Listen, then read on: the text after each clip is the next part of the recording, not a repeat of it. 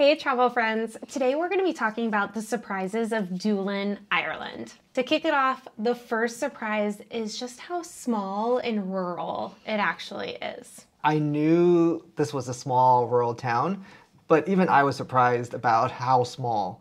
You know, like the colorful houses that you see on Google or the postcards, I feel like that's like 75% of the town.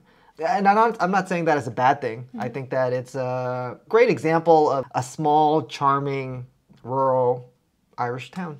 Okay, our second surprise mm-hmm. is the food is very, very good.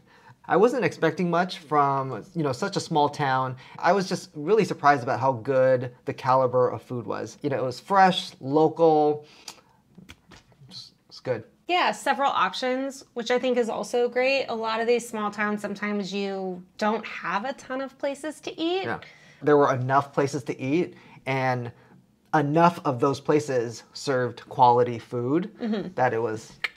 The next surprise is how easily you can access or go to the Aran Islands. So Doolin is one of the two places that you can easily get a ferry to the Aran mm-hmm. Islands. If you're planning a trip to Doolin or you know going by Doolin, definitely look into the Aran Islands, and it might be worth you know either a half day or a day trip out of your itinerary to go because they're pretty they're pretty cool. Speaking of proximity, the next surprise is also how close Doolin is to the Cliffs of Moher.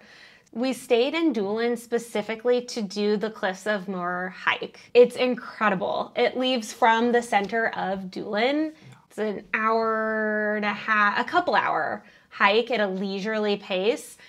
Breathtaking views, yeah. farmland, you're on the edge. So this hike only existed since 2012 the farmers who owned land along the hike, I think mm-hmm. like donated some land for this hike. So, you know, it's like a relatively new thing, but I really, really think that like this is going to make Doolin like one of the places you're going to hear about in the, the coming years. The tourists are going to swarm there because it is just an absolutely amazing way to experience the Cliffs of Moher. It's absolutely amazing. And um, yeah, you, you definitely need to check out Doolin for for this hike. and check out our video about the hike if you're really interested. So this last one I put in for fun. Uh, there are a lot of cows in Doolin.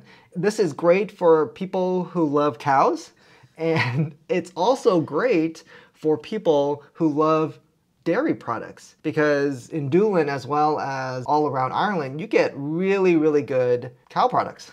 Butter, cheese, ice cream. Cream. So when you're walking around Doolin and you're seeing all those cows, just a friendly reminder for you to check out some, you know, dairy products while you're in Ireland. That is so cool. That's so bad. That's okay. so bad. I think they also add to the the charm as well as the authenticity. You you feel like you're in like rural Ireland. All right, guys, those are our surprises for Doolin, Ireland. Let us know your thoughts. If you've been there, let us know if there's something that we missed. And please like and subscribe. Right. Happy travels.